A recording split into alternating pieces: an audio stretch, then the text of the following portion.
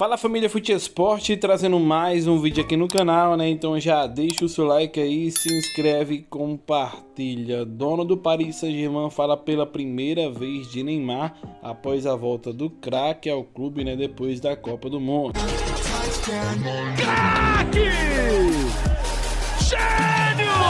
Você que é demais! Na Seattle Life elogiou Neymar, né? Pela sua disposição para se recuperar da lesão durante a Copa do Mundo no Catar e disse que o clube vai ajudar o camisa 10, né, a se recuperar psicologicamente desse episódio. Ele vai dar todo o suporte, todo o apoio. Neymar fez o máximo durante a Copa do Mundo, mais do que o máximo.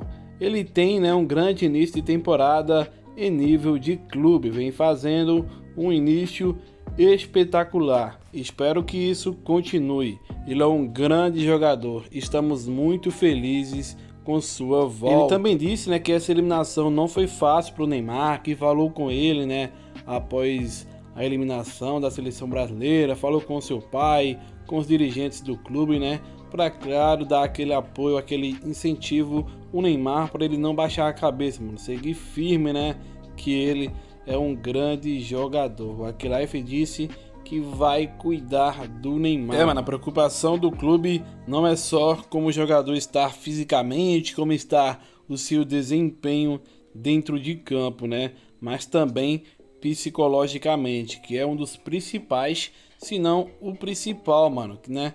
Que isso qualquer coisa que acontece na vida do cara, pessoal, né?